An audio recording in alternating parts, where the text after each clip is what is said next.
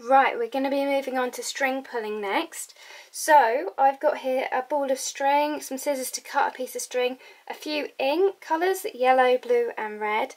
I'm decided to go with blue to start off with, so I've put a little bit of blue out into my palette. I've added a little bit of water to this one because it's acrylic ink, so it's quite a strong ink. Um, then I've taken some scissors and I've cut a piece of string, probably about 30 centimetres long. It can be longer, it can be shorter, it depends on how confident you want to be. Now the first thing you need to do is to take your paper, and this is just photocopier paper, and fold it in half. You will find with this technique, the first time that you do it, the string will be too wet and you won't get the greatest results. So I would recommend having another piece of paper, I can pick one up, that's folded in half and that is ready to go straight after you do your first string pull. Okay, actually that one's folded, folded better, so I'll use that as my good. And I use this as my trial run to sort out my string. Now, if the string is too wet, which it usually always is for the first one, you'll get a little bit of blobbing. So to do it on two pieces of paper, you'll get much better results. You take your piece of string and you put one end into the ink. Now you want a dry end that you can hold. You can see there, I've got that end with my left hand. I'm using a brush to get the ink all over the rest of the string.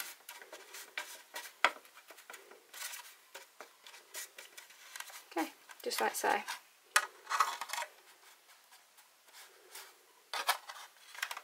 Then I'm going to pick up my ink and it's going to be really wet.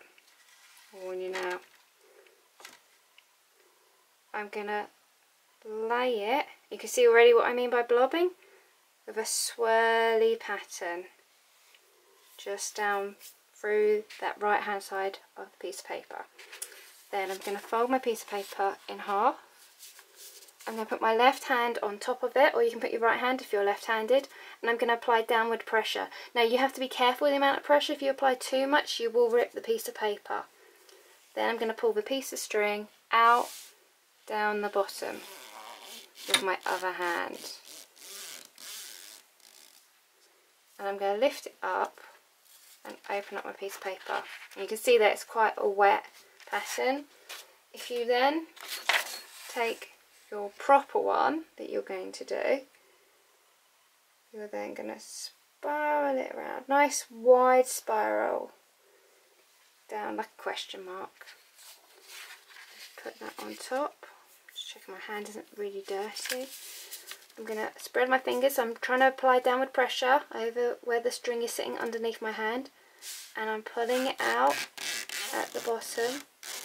Trying to be fairly gentle. Then if you open that one up, you can see you start getting the patterns. Now it takes a bit of practice and you'll find that you'll probably want to go for longer bits of string to get more exotic patterns. Play around with it and see what you can get to work. I'm just going to show you how to do a two coloured version. You can do three colours as well, it depends on how ambitious you feel this morning. So for two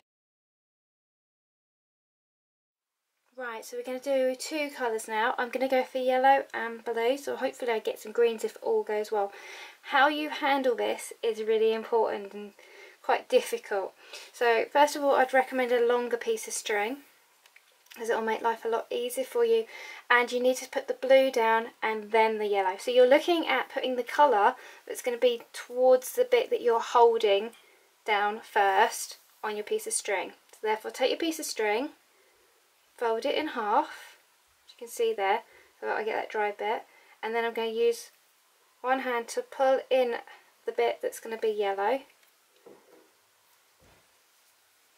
And I'm going to dip the blue section into my blue ink. I use a brush just to get a good amount of coverage of ink in there. Now the ink just um, stay quite wet on the string for a fair amount of time so don't feel like you have to rush. Make sure you get good coverage.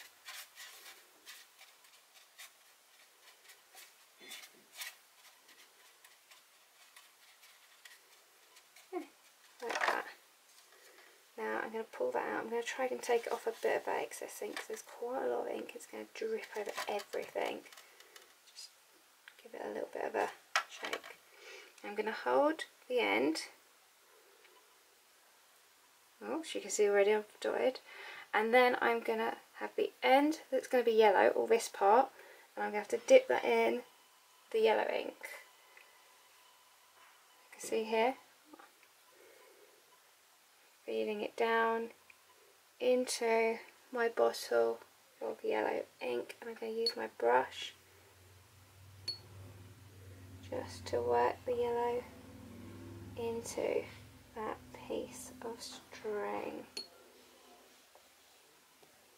I'm trying not to get any of the blue in the yellow ink so there's a little bit of string that's drying between the two. Don't really want to cross-contaminate my yellow so that I can use it again in future. Oops, already I can see that that's happened. Oh well. This is where you put some ink out into a pot so if it gets a bit cross-contaminated you don't have to worry too much.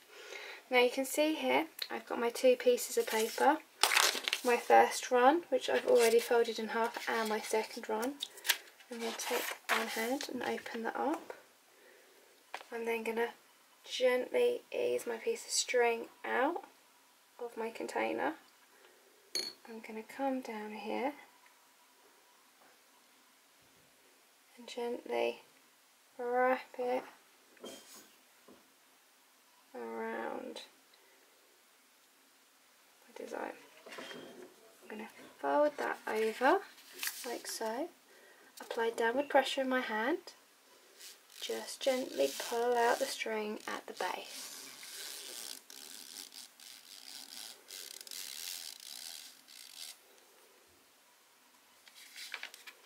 It's actually not bad for a first one.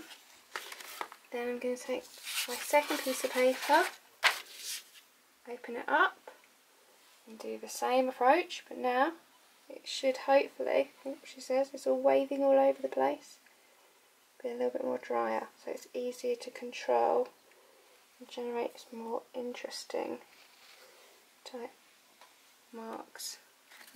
Lay that down there. Put my hand over the top. Pull my string out gently.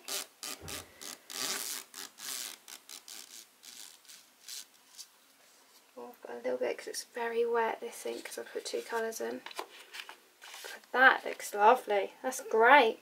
Now you have a go. You can play around. You can build up some different colours. So you might fancy, uh, I could, for instance, should we push our luck? Take a little bit of red and add it into my blue so it goes purple. Dip my string in there. And remember that you've got to do a first batch before you do the second batch or this could completely wreck my nice one that I've just done. So do keep that in mind. I'm going to take that out. I'm going to put my good one to one side. I'm going to go back. It's my first one. Take my piece of string which is absolutely dripping with blue ink. Use a brush. Let's use a brush. Actually that's quite a good technique using a brush close that up by a little bit of pressure. Yeah, you can see how wet that was. It was wise to do it on a spare one before you do your best. Let's use that brush again just to drape around a really strange pattern.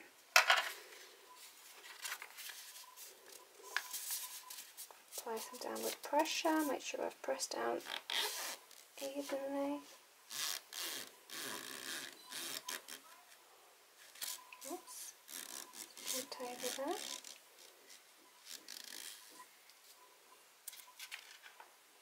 Oh, see that's really looking fun now. You can have some really good, very surreal artworks. It looks like a person dancing, uh, moving their head backwards and forwards. Have a play, see what you can get to work. Bye!